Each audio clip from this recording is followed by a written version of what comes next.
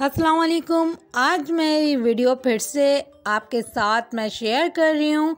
तो ये मैं सुबह का नाश्ता मैंने रेडी कर लिया था।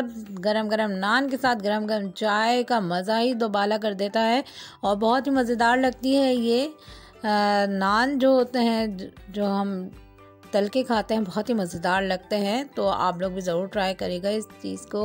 चाय के साथ बहुत ही अच्छा लगता है। तो मैं यहाँ नाश्ता इंजॉय कर रही हूँ। और फिर मैं आपको जब दोपहर का मैं खाना बनाऊँगी तो मैं आपको दिखाऊँगी कि मैं आज मैं खाने में क्या पका रही हूँ। तो आप मेरे साथ साथ हैं और देखें मैं आज मैंने क्या पकाया खाने में। तो आप मुझे बताइएगा फिर।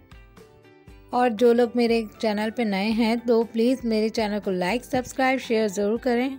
और बेल आइकन का बटन ज़रूर दबाएँ ताकि मेरी नई नई वीडियो आप तक पहुँच सके। आए, चले, देखते हैं दोपहर का क्या पका रही हूँ। ये मैं बना रही हूँ। देखें, बहुत ही मज़ेदार सा मैं ये कीमा बना रही थी। तो आप लोग को ज़रूर इसकी रेसिपी मिलेगी। आप लोग मेरी रेसिपी कल आप लोग ज़रूर देखेगा। बहुत ही मज़ेदार और आसान रेसिपी के साथ बहुत ही डिलीशियस ये कीमा बना था। तो बहुत ही झटपट बन जाता है। बहुत ही आसान रेसिपी है। तो आप लोग कल जब देखेंगे तो ज़रूर मुझे बताइएगा कैसी लगी है मेरी ये वीडियो आप लोगों को। और बहुत ही जल्दी बन जाता है, ज़्यादा टाइम भी नहीं लगता है इस रेसिपी को बनाने में।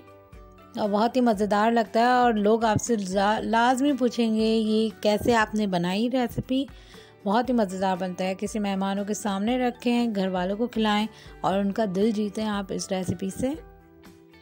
तो ये कल आपको इन ताला मिल जाएगी मेरी रेसिपी और ज़रूर देखिएगा और मुझे फीडबैक में बताइएगा कैसी लगी है मेरी रेसिपी आपको।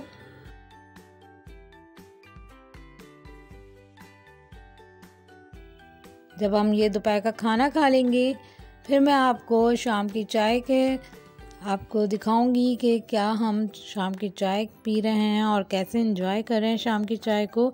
और हर चीज़ का इंजॉय करना चाहिए, लाजमी और ज़िंदगी का यही मज़ा है। ये लीजिए, अब हम यहाँ पे शाम की चाय इंजॉय कर रहे हैं गर्मा गर्म मज़ेदार सी चाय। तो आप लोग भी मेरे साथ इंजॉय करें इस चाय को। और आप मुझे बताइएगा फीडबैक में कैसी लगी है मेरी आज की वीडियो मेरे चैनल को लाइक करें, सब्सक्राइब करें, बेल आइकन का बटन ज़रूर दबाएँ ताकि मेरी हर आने वाली नई वीडियो की नोटिफिकेशन आप तक पहुँच सके। आज के लिए बस इतना ही, फिर मिलेंगे हम एक नई वीडियो के साथ। जब तक के लिए मुझे दीजिए इजाज़त, दुआओं में याद रखिएगा, अपना ख्याल रखिएगा, अल्लाह हाफिज़।